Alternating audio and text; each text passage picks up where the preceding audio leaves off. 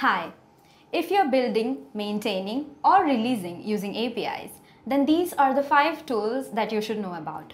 They make sure that the API endpoints work as expected, you catch the integration bugs early on, and it makes sure that the API behaves normally across all environments.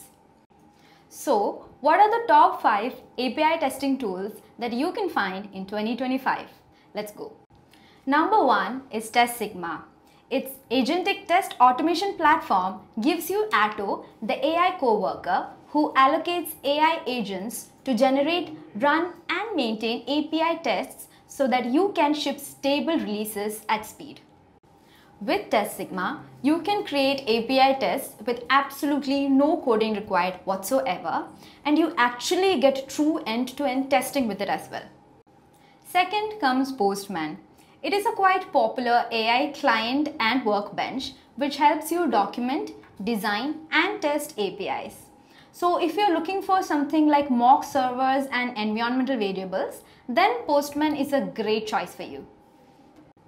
Apart from that, Postman also helps you build a quick request builder and shareable collectives.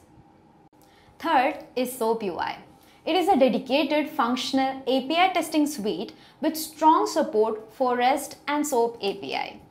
If you're looking for advanced functional and security testing and you want detailed reporting, then SOAP UI is your best bet. Next comes Apache JMeter. It is a load and performance testing tool that is made for APIs and web apps. So if load and performance testing at scale is something that is your biggest concern, then go for Apache JMeter.